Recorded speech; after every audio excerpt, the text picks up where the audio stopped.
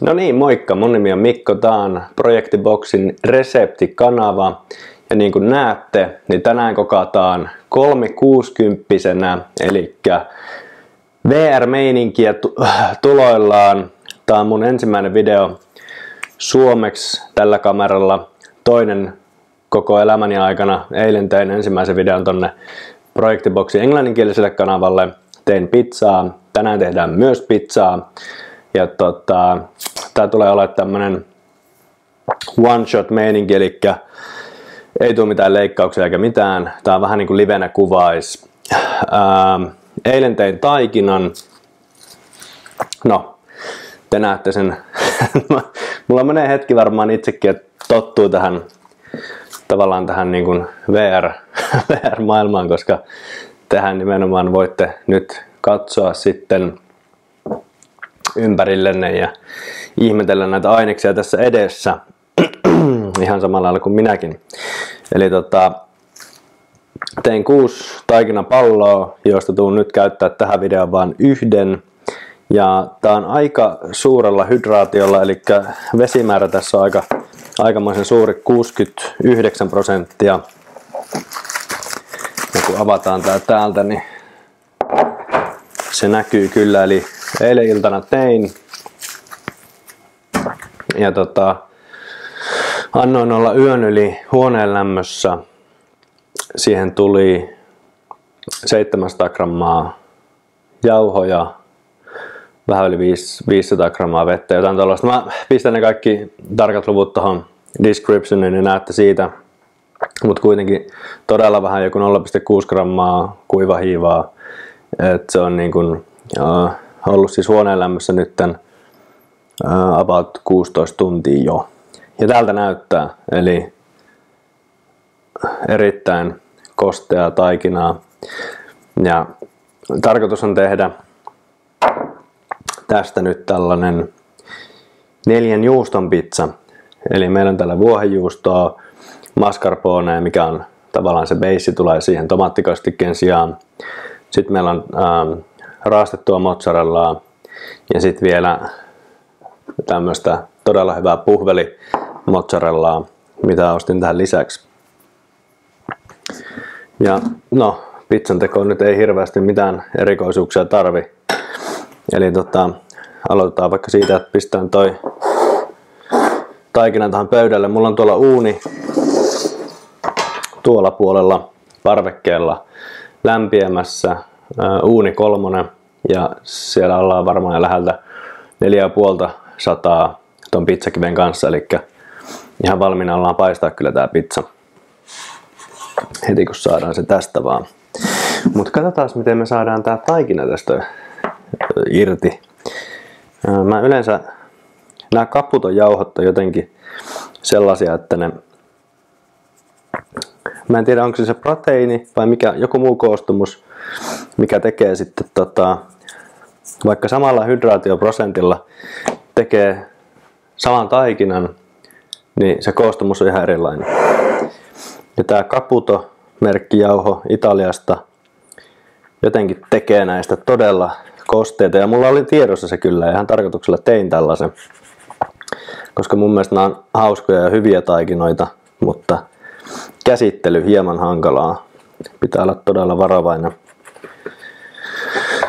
Ja käyttää sitten toisaalta taas tässä kohtaa jauhoja, että ne saa tuolta nätisti pois, mutta niin tästäkin ilmiö nyt käy, että on todella ilmava, ilmava paketti kyllä. Varsinkin tuonne reunalle kannattaa laittaa tätä jauhoa, kun irrottaa sitä tästä, ettei se tarraa tähän vastaan tai mihinkään kiinni. Okei, nyt se lähtee siitä.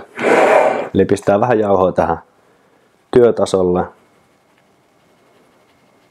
Ja tää on myös ihan sama jauho, eli sitä Caputo 00. Voi käyttää myös semoliinaa, mitä mulla on tossa kans, mutta jostain syystä mä nyt en sitä tähän eksperimenttiin saanut tuolta kaapista ulos. Eli siinä on taikina. Ja nämä kannattaa sitten heti ö, sulkea niin sanotusti, ettei ne pääse ilman kanssa hirveästi tekemisiin. Muuten niihin tulee sellaisia kuivia paakkuja. Mä pistän nyt siihen vaan tuollaisen tea towelin. Ja heidän noiden muiden joukkoon. Eli sitten aletaan muotoille taikinaa. Ja huomaa tästä jo, että tota, todella ilmavan taikinan kanssa pelaillaan. Ja joo, tää kannattaa tää muotoilu aloittaa tuosta keskeltä, vähän niin kuin työntää niitä ilmakuplia tuonne sivuun, että siihen muodostuu tuollainen rinki. Ja tota, sitten valkaan varovasti pyörittelee. Täällä jotain vähän kovempia palasia, mitkä kannattaa heittää pois. Varmaan tullut tuosta jauhosta, mitä mä oon käyttänyt eilen. Näin. Joo, tää on, tää on just tää ongelma näissä suuren kosteusprosentin omaavissa taikinoissa, että vähän heikon olosia ja saa olla kyllä varovainen, ettei, ettei sit hajota. Mutta sitten taas se ilmavuus ja se krasti on ihan oma luokkaansa juurikin sen takia. Mutta joo, toi on todella ohut niin kuin näette. Ei hirveästi paranne nyt heilutella sitä tossa, mutta aletaan laittaa täytteitä ine, eli ekana tää mascarpone. Mä pikkasen lämmitin tää mikrossa ihan ton taikinan, taikinan takia, ettei, se, ettei tarvi hirveästi tässä sitä alkaa painelee. Tästä tuli tällaista niinku vähän juoksevampaa. Musta tuntuu, että se oli ihan, ihan hyvä idea tällä kertaa. Mascarponessahan ei itsessään hirveästi makua, ainakaan omasta mielestä, että se on aika mieto, mieto maku yksisteen, mutta sitten se antaa sellaista tiettyä raikkautta ja omanlaista tuhtia myös ehkä näihin aterioihin, koska sehän on aika rasvasta. Sitten mozzarellaa. Noin.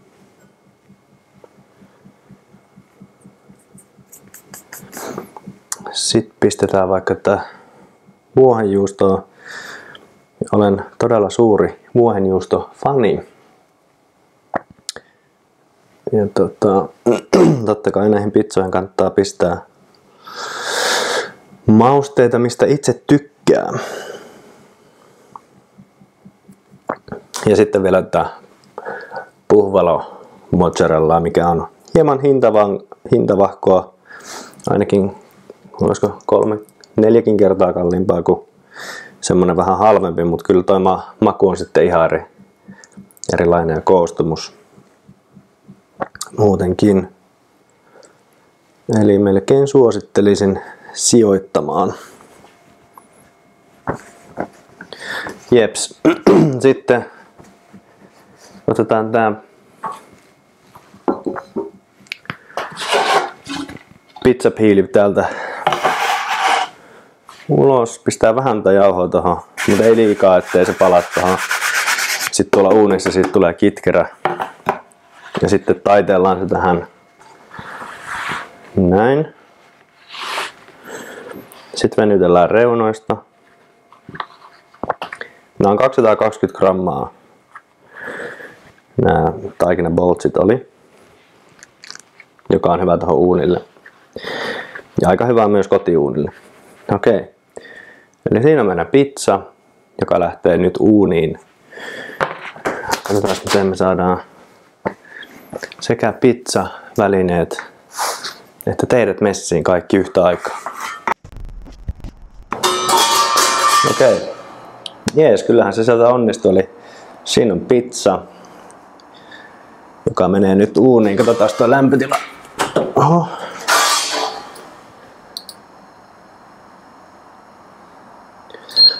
500 astetta se huutaa 496, eli todella kuuma.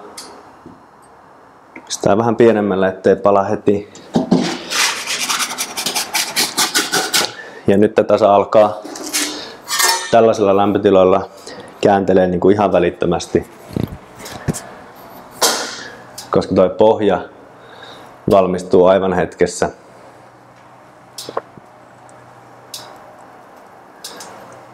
Ton kiven ollessa noin kuuma.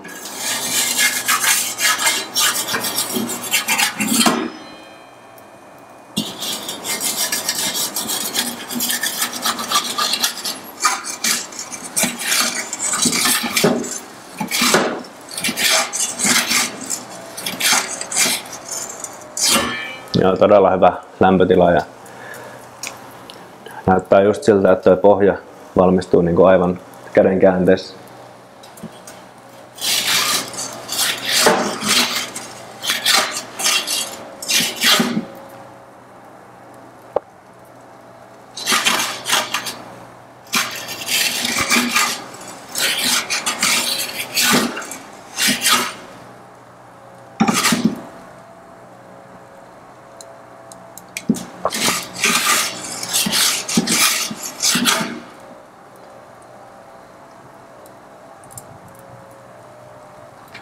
Hyvin tirisee tuo päällinenkin.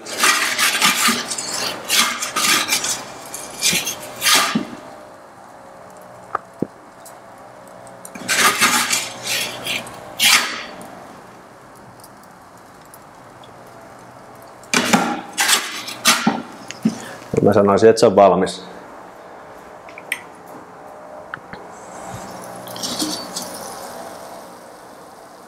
Siitä. Sitten mennään takaisin ja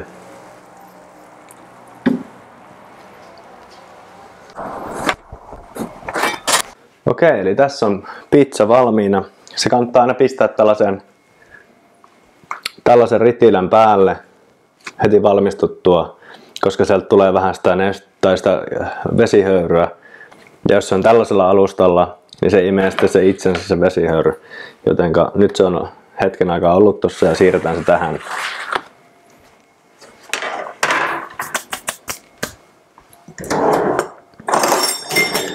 Ja voidaan leikata samalla. Ihan hyvän näköinen krasti.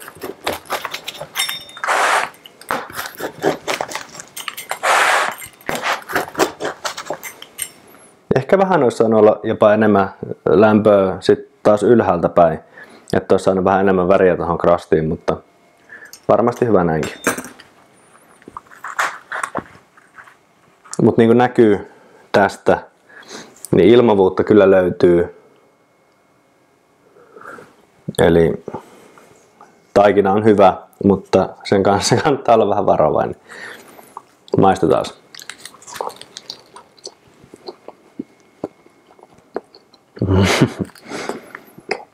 wow.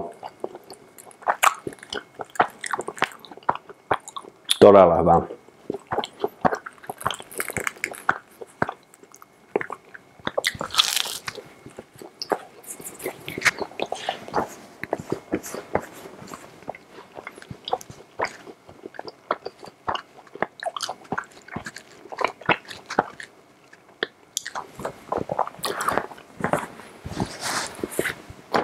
Jees, eli tämä taikina todellakin toimii.